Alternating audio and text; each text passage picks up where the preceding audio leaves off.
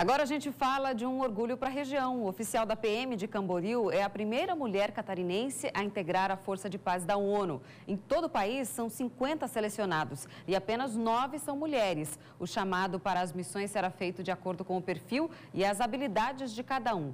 Vamos conhecer.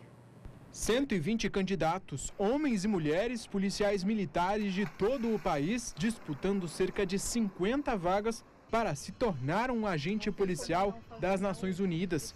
Apenas nove mulheres foram aprovadas, entre elas a tenente Briana Tosseto, da PM de Camboriú. Essa é a primeira vez que uma policial consegue ser aprovada nos testes rigorosos das Nações Unidas para missões de paz.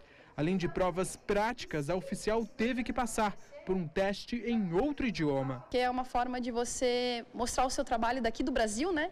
Para outras pessoas, num cenário internacional, fazer diferença na vida dessas pessoas, eu tenho certeza que elas farão diferença na minha. Há 10 anos, como policial, a tenente sempre desejou participar de uma missão da paz. A ONU realiza ações em diversos países. São pelo menos 95 mil agentes garantindo a segurança de nações carentes.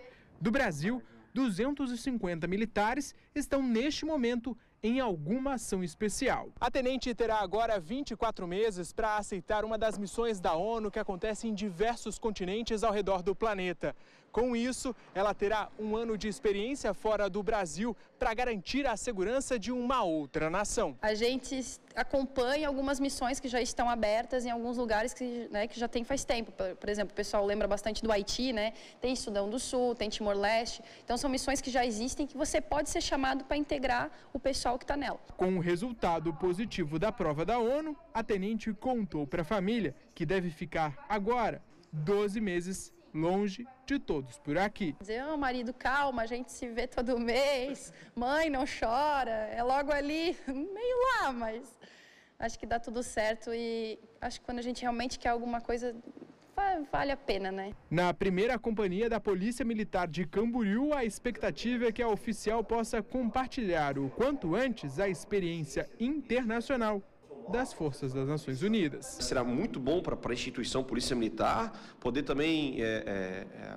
absorver o aprendizado que ela teve lá, cultural, policial, doutrinário, humanístico, né, em todos os seus sentidos, e aplicar também a, a, o que foi aprendido lá aqui no Estado. Parabéns, Tenente, que cada vez mais isso não se torne notícia, mas sim cotidiano das mulheres que fazem parte aí da Polícia Militar. Parabéns.